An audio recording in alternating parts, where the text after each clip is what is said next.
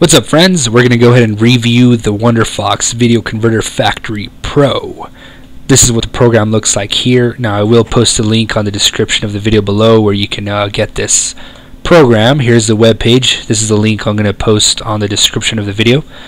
And uh, just go ahead and click on the free download to download the free trial. We're going to go ahead and test this out. Alright, this is what it looks like once you download it and install it. Really easy to use. First step is add file, choose output format, and then click on run to actually convert the file. So let's go ahead and click on add files up here, upper left hand corner. And there's a video of Battlestar Galactica here. There it is.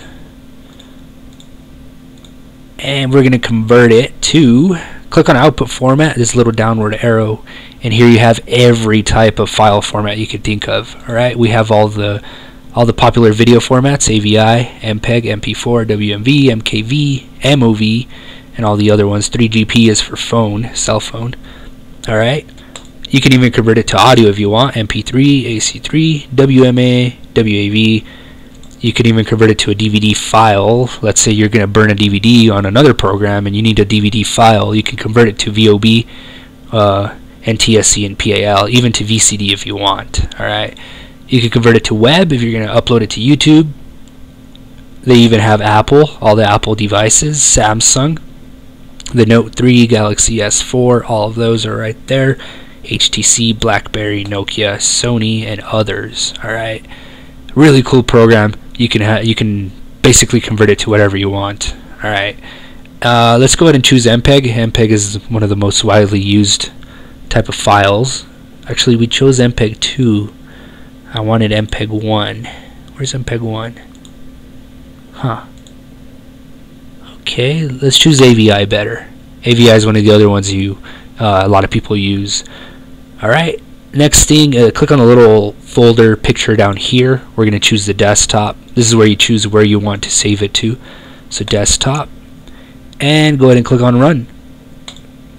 Now since this is a free trial, it's only going to let us do the first five minutes of the video.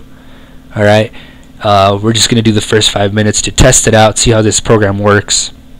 And if we like it, we, you know, I, I'm, I've been thinking of buying it because it's so useful. It has every single format you could think of and you can convert it to anything you want.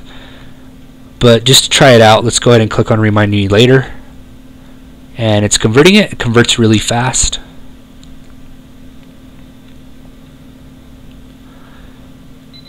Alright, looks like it's done. Click OK. Now let's go look for it. It's on the desktop. Here it is. And there it is, saved as an AVI file. This is just the beginning of Battlestar Galactica, just the intro of Universal Studios here. Alright, looks like it came out pretty good. It did convert it successfully. And there you go. There's This is uh, one of the coolest, most useful programs I've seen so far. It has so many output formats. You can do anything with this. Alright, so I give this program a good review. Uh, I would, uh, I'm thinking of purchasing it I do recommend purchasing it. So it would be a really good investment. There is free video converters out there, but there are nothing like this, where you just have everything you could think of: the phones, video, even audio conversion. I mean that that's that's unheard of in other free programs. That's why this program uh, uh, you got to purchase it. All right. So hopefully you've enjoyed the video tutorial and review, both in one. Like I said, I give this program a really good review. Thanks for watching. Subscribe to my channel like the video, and have a good rest of your day.